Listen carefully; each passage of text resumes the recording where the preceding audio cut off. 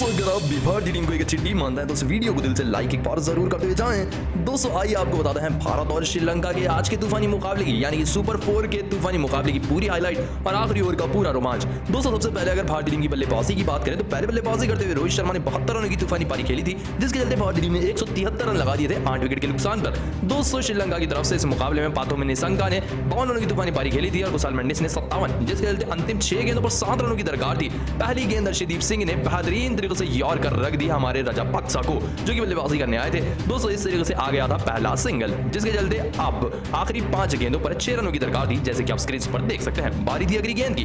दोस्तों, जैसे अगली गेंद सामने की तरफ़ रखी अर्षदीप सिंह ने तो इस गेंद पर भी बेहतरीन तरीके से यौर कर पड़ गया और इस गेंद पर भी एक सिंगल आ गया। दोस्तों, रजा पक्सा वापिस स्ट्राइक पर थे और उनके साथ सामने दासुन शनाका थे, जो कप्तान है श्रीलंका के। अगली गेंद इस तरीके से सामने की तरफ़ खेली राजा पाकसा ने और दौड़कर चतुराई भरकर इस तरीके से दो रन ले लिए, जिसके चलते अब जीत के लिए श्रीलंका को तीन गेंदों पर तीन रनों की दरकार थी, क्योंकि पहली बॉल पर सिंगल, दूसरी बॉल पर सिंगल और तीसरी बॉल पर दो रन आ गए थे। 200 रजा पक्सा स्ट्राइक पर आ चुके थे। 200 अगली गेंद जैसे ही अर्षदीप ने योर कर रखी तो इस गेंद को भी खेल नहीं पाए और टच कर सिर्फ़ और सिर्फ़ एक ही रन ले पाए रजा पक्सा। जिस मोमेंट आखिरी मोड़ पर आ चुका था। क्योंकि अब श्रीलंका को दो गेंदों पर दो रनों की दरकार थी, जैसे कि आप देख ही सकते हैं। अगली गेंद जैसे ही सामने की तरफ़ रखी दासुन शनाका को तो दासुन शनाका इसे खेल भी नहीं पाए। गेंद डॉट हो गई, लेकिन चतुराई भरकर दूसरा रन लेने के लिए आगे बढ़ चुके ऋषभ पंत। 200 डायरेक्ट मारने के चक्कर में मिस कर बैठे। जैसे ही पहला डायरेक्ट थ्रो मिस हुआ, उतनी ही देर में दूसरा रन भी कंप्लीट कर लिया धासुन शनाका ने और बिना गेंद को टच किए दो रन ले लिए श्रीलंका ने। जिससे जल्दी एक गेंद रहते हुए श्रीलंका ने छह विकेटों से तूफानी मुकाबला जीत लिया। जी हाँ दोस्तों, भारतीय टीम को श्रीलंका ने आखिरी ओवर की पांचवी गेंद पर हरा कर रख दिया छह विकेटों से और लगभग बाहर हो चुकी है भारतीय टीम एशिया कप से। लेकिन दोस्तों, आपको क्या लगता है, कौन सी गलती की वजह से भारतीय टीम में मुकाबला हारा इसका जवाब हमें कमेंट में बार दोस्तों, अगर आप रोहित शर्मा को एक अच्छा खिलाड़ी मानता है तो वीडियो को दिल से लाइक एक बार ज़रूर कर दे जाए दोस्तों आज हम आपको बताएँगे कैसे श्रीलंका ने भारतीय टीम को चार विकेटों से आज का एशिया कप 2022 के सुपर फोर का मुकाबला हराया। तो दिल दाम कर बैठिए। दोस्तों, पहले आपको बताते हैं, आखिरी ओवर में क्या हुआ? और आखिरी गेंद के पहले गेंद का रोमांच हम आपको बताने वाले हैं। दोस्तों, जब स्ट्राइक पर धासुन, बना पर राजा पक्सा स्ट्राइक पर थे, और श्रीलंका को जीतने के लिए छह गेंदों पर सात रनों की दरकार थी। दोस्तों गेंदबाज अर्षदीप सिंह थे और बल्लेबाज राजा पाकसा थे। पहली गेंद पर इस तरह से यॉर्कर गेंद रखी हमारे अर्षदीप सिंह ने।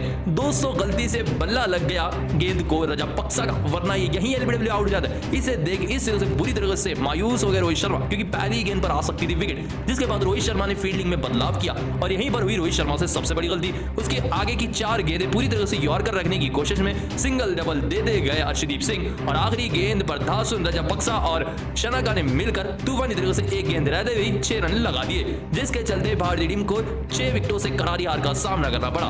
दोस्तों आप सभी को बता दें, दासुन शनाका जो कप्तान है मैन ऑफ़ द मैच का अवार्ड दिया गया। दोस्तों आगे हम आपको आखिरी ओवर का पूरा रोमांच बताएँगे, पूरे आखिरी छह गेंदों की हाईलाइट बताएँगे तो आगे की वीडियो ज़रूर देख। दोस्तों, अगर आप रोहित शर्मा को एक अच्छा खिलाड़ी और कप्तान मानते हैं तो इस वीडियो को दिल से लाइक एक बार ज़रूर करते जाएँ। दोस्तों, समाप्त हो चुका है भारत बनाम श्रीलंका का एशिया कप का सुपर फोर का एक और तूफानी मुकाबला। दोस्तों मुकाबला शुरुआत से ही बेहतरीन रहा, जब भारतीय टीम ने पहले बल्लेबाजी करते एक रन स्कोर बोर्ड पर लगा दिए थे। इतने टारगेट को छह विकेट बाकी रहते हुए श्रीलंका की टीम ने पूरा कर लिया सिर्फ़ और सिर्फ़ चार विकेट गवाकर। इसके चलते भारतीय टीम को इस एशिया कप में अब सबसे बड़ा झटका लग चुका है। दोस्तों अब भारत के क्वालिफाई करने के लिए सबसे ज़्यादा मुश्किल रास्ते हो चुके हैं। दोस्तों आप सभी को बता दें, भारतीय टीम की ये जीत श्रीलंका की लगभग 2002 के बाद से एशिया कप की सबसे बड़ी जीत है। क्योंकि इससे पहले एशिया कप के सुपर फोर के मुकाबले में श्रीलंका ने भारतीय टीम को नहीं हराया था। दोस्तों ये हो गया बड़ा रिकॉर्ड दोस्तों दासुल शनाका को मैन ऑफ़ द मैच का अवार्ड दिया गया। क्योंकि दासुल शनाका ने इस मुकाबले में कप्तान होते हुए तैतीस रनों की नाबाद पारी खेली अंत तक और गेंदबाजी में भी इन्होंने दो बड़े विकेट निकाले थे, दो ओवर डालकर यही कप्तान है श्रीलंका के, और कप्तानी पारी खेलते हुए मैन ऑफ़ द मैच का अवार्ड भी दिया गया। परसेंट बाहर हो चुकी है भारतीय टीम एशिया कप से, क्योंकि अब आने वाले मुकाबले में अफ़गानिस्तान को श्रीलंका को हराना है, श्रीलंका को पाकिस्तान को हराना है, फिर अफ़गानिस्तान को पाकिस्तान को हराना है, जो सबसे ज़्यादा मुश्किल बात है। लेकिन दोस्तों, आप कमेंट में बताइए, क्या भारतीय टीम इस साल फाइनल के लिए क्वालिफाई हो पाएगी या नहीं? इसका जवाब हमें कमेंट दोस्तों, अगर आप रोहित शर्मा को एक अच्छा कप्तान मानते हैं तो इस वीडियो को दिल से लाइक एक बार ज़रूर कर दे जाएँ। दोस्तों, शुरू हो चुका है भारत बनाम श्रीलंका का एशिया कप के सुपर फोर का एक और तूफानी मुकाबला। दोस्तों, टॉस की अगर हम बात करें तो इस मुकाबले में श्रीलंका के कप्तान ने टॉस जीता और गेंदबाजी को चुना, जिसके चलते के राहुल और रोहित शर्मा सलामी बल्लेबाज बनकर आए। दोस्तों, लेकिन हो गया बड़ा कारनामा। दोस्तों, दूसरे ओवर में महेश तिक्साना की इस गेंद पर एल आउट हो गए के राहुल। जी हाँ दोस्तों, रिव्यू लेने के बाद भी ये बच नहीं पाए, जिसके चलते के राहुल छह रन बनाकर सात गेंदों का सामना करते महेश टिकसाना के हाथों आउट हुए। दोस्तों लेकिन उसके बाद भी भारतीय टीम को बड़ा झटका लग गया। बेहतरीन फॉर्म में चल रहे विराट कोहली। आते ही इस तरीके से मधुशंका की गेंद पर बुरी तरह से बोल्ड होकर रहे और भारतीय टीम को लगा बड़ा झटका। शून्य रन बनाकर चार गेंदों का सामना करते हुए विराट कोहली आउट हुए और यहीं पर बीस रन पर भारतीय टीम के दो बड़े विकेट गिर चुके थे। लेकिन उसके बाद से भारतीय टीम की रन की गति को आगे बढ़ाया हमारे कप्तान हिटमैन ने। दोस्तों इस मुकाबले में हिटमैन का साथ दे रहे थे सूर्य कुमार यादव। दोस्तों दोनों के बीच में पचास से ज़्यादा की साझेदारी हो गई और देखते ही देखते कप्तान रोहित शर्मा ने अर्धशतक लगा दिया। लेकिन जब वो सत्तर रन पर पहुँच चुके थे। इस तरह से करुणारत्न एक गेंद पर सामने खड़े फील्डर को गलती से कैच जेवेड और बड़ी विकेट गवा बैठे। बहत्तर रन बनाए कप्तान रोहित शर्मा ने। इकतालीस गेंदों का सामना करते हुए और ये आउट हुए। दोस्तों उसके बाद सूर्य कुमार यादव भी चौंतीस रन पर आ चुके थे। इनसे भी हो गई बड़ी गलती। दासुन चनागा की इस गेंद को इस तरह से ऊपर का शॉट मारने के चक्कर में हवा में खेल बैठे और पीछे फील्डर ने इस तरह से शानदार कैच लपक ली जिसके चलते यानी कि सूर्य कुमार यादव भी चौंतीस रन बनाकर उनतीस गेंदों का सामना करते हुए आउट हुए।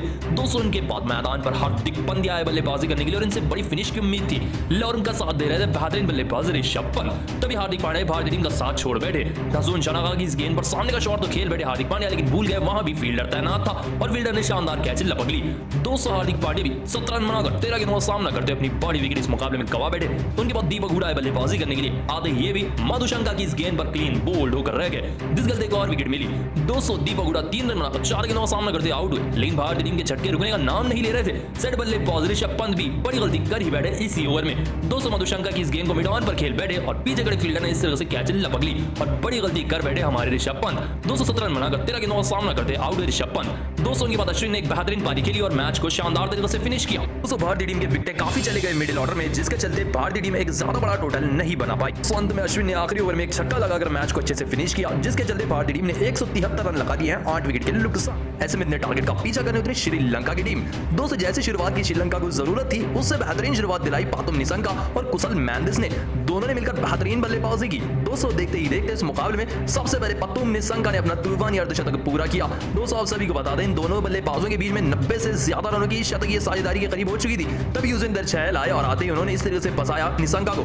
दो सौ अर्धशतक लगाकर रिवर्स शॉट खेल बैठे और पीछे रोहित शर्मा ने इस तरीके से कैच पकड़ ली। सत्तावन रन पर पहली विकेट गिरी श्रीलंका की। बावन रन बनाकर सैंतीस गेंदों का सामना करते पातुम निशंका आउट हुए।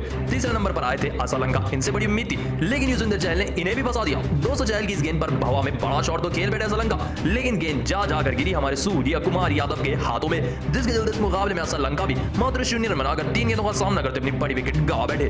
दोस्तों इनके बाद बल्लेबाजी करने आए थे गुना तिलका लेकिन दूसरे एंड से कुशल मेंडिस ने कुछ बेहतरीन शॉट्स लगाए और ये भी पहुँच गए अपने अर्धशतक तक। ये दूसरे सलामी बल्लेबाज से और दोनों ही सलामी बल्लेबाजों ने अर्धशतक लगा दिया था। दोस्तों गुना तिलका और पातुम निशंका के बीच में साझेदारी हो ही रही थी।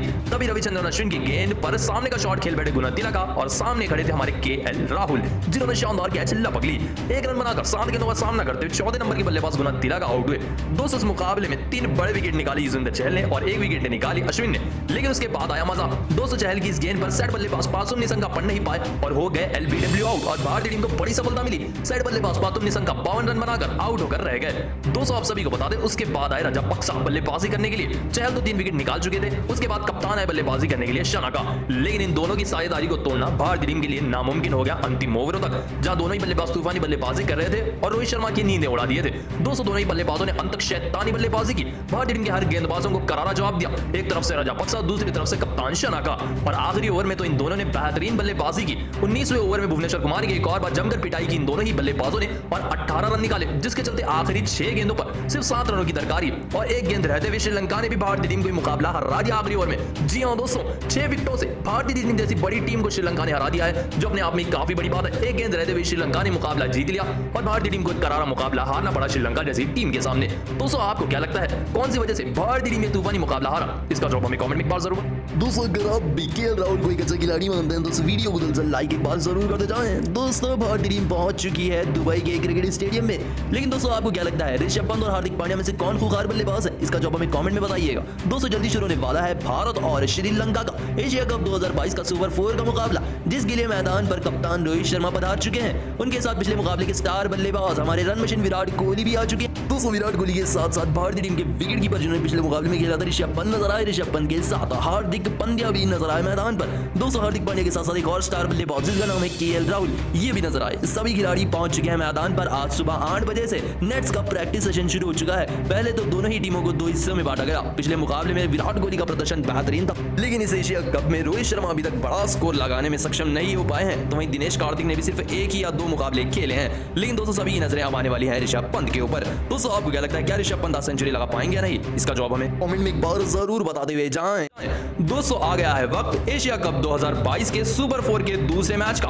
दोस्तों साढ़े सात बजे से शुरू होने वाला है भारत बनाम पाकिस्तान का दुबई इंटरनेशनल क्रिकेट स्टेडियम में तूफानी मुकाबला। आइए टॉस और पिच की बात कर लेते हैं। दोस्तों अभी भी पिच की रिपोर्ट यही आ रही है कि पिच पर ग्रास ज़्यादा है तो जो भी कप्तान पहले टॉस जीतेगा, वो गेंदबाजी को ही चुनेगा। क्योंकि इस पिच पर सबसे पहले गेंदबाजी सक्षम होती है, जिसके चलते गेंदबाजी हर टीम करना चाहती है। दोस्तों अगर रोहित शर्मा टॉस जीते हैं तो वो गेंदबाजी ही चुनेंगे। अगर बाबर आज़म टॉस जीते हैं तो वो भी गेंदबाजी को ही चुनेंगे। दोस्तों, भारतीय टीम में भी दो बड़े बदलाव होने वाले हैं, पाकिस्तान की टीम में भी दो बड़े बदलाव होने वाले हैं। इसी हिसाब से दोनों ही टीमें फ़िलहाल बराबरी पर हैं। अब देखना यह होगा कि क्या पाकिस्तान अपनी हार का बदला लेती है, या फिर हमारी भारतीय टीम पलटवार कर भारतीय टीम को दूसरी शर्मनाक हार हराती है, दोनों ही टीमों के बीच में काफ़ी तगड़ा मुकाबला होने वाला है। तो जुड़िए रहिए हमारे साथ भारत और पाकिस्तान के मुकाबले के सभी अपडेट्स और चटपटी खबरें जानने के लिए। लेकिन दोस्तों, आप रोहित शर्मा की कप्तानी को दस में से कितने नंबर देंगे? इसका जवाब हमें कॉमेंट में बार ज़रूर बताते हुए जाएँ।